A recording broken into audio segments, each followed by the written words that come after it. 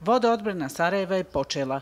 Sarajevo da hitno riješi problem vodosnabljevanja u Sarajevu. Građani su pozvani da potpišu peticiju kojom bi natjerali vlast da poduzme i hitne mjere za uredno vodosnabljevanje Sarajeva. Građani mogu popuniti anketu u kojoj će odgovoriti na pitanja o kvalitetu vode i redukcijama. Grbavica je skroz tanka sa vodom.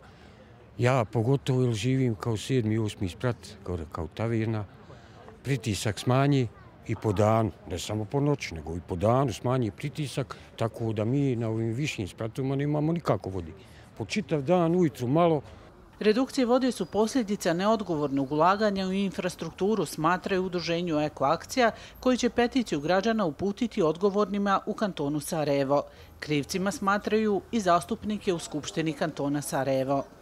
Imamo tamo 35 poslanika koji su jednako nezainteresovani bili za rješavanje ovog problema. Nažalost, Skupština uopšte nije bilo od pomoći. Skupština kantona ima sva moguća pravna sredstva na raspolaganju. Mogu proglasiti vanredno stanje, mogu mobilisati opremu, ljude, sredstva. Ovo je najbogatija lokalna zajednica i da ima političke volje i problem vode bi davno bio riješen.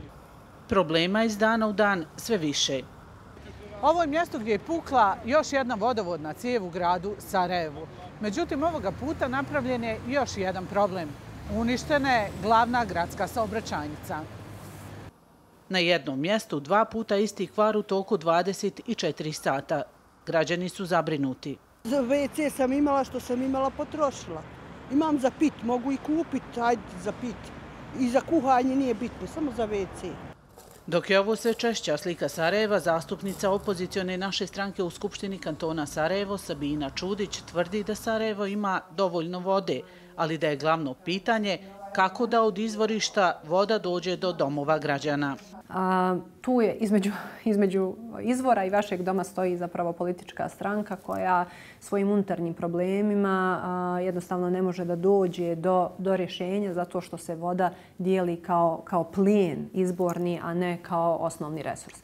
Odmah da kažem što se tiče konkretnih rješenja, zaista naša stranka se zalaže da voda uđe u ustav, kantona Sarajevo kao osnovno pravo svih građana i građanki kako se ne bi potezalo pitanje privatizacije izvorišta vode. Tokom prošle godine za rekonstrukciju vodovodne mreže potrošeno je 3,3 miliona eura. 75% vode se negdje raspe, tvrdi premijer. Kao i nekoliko puta do sada, kaže problem je u neefikasnoj upravi vodovoda i kanalizacije.